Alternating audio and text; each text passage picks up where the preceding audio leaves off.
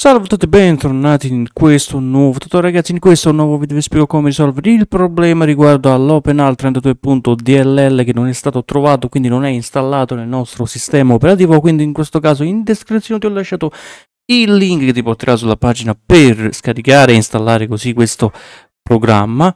Ovviamente andiamo direttamente nel nostro pacchetto RAR che abbiamo scaricato Entriamo così nel nostro pacchetto RAR, clicchiamo direttamente sull'applicazione OpenAL Installer, file SDK, farà così l'estrazione dei file della configurazione Windows Installer, aprirà così l'Install Shield Wizard, Next, accettiamo così la licenza, facciamo Next, installiamo direttamente il file nel percorso file del programma qui nel disco locale C facciamo next e facciamo installa. E installiamo così il nostro servizio.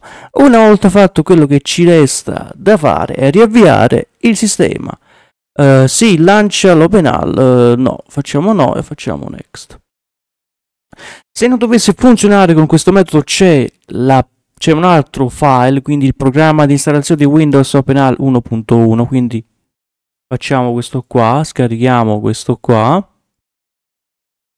on list, stessa cosa che abbiamo fatto con quell'altro programma, facciamo ok, installazione completata.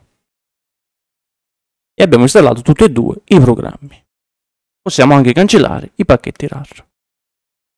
Se questo video ti è stato utilissimo su come risolvere l'errore riguardo all'OpenAL 32.dll iscriviti, lascia like, per altri problemi commenta sotto il video e noi ragazzi ci vediamo ad un prossimo tutorial. Ciao!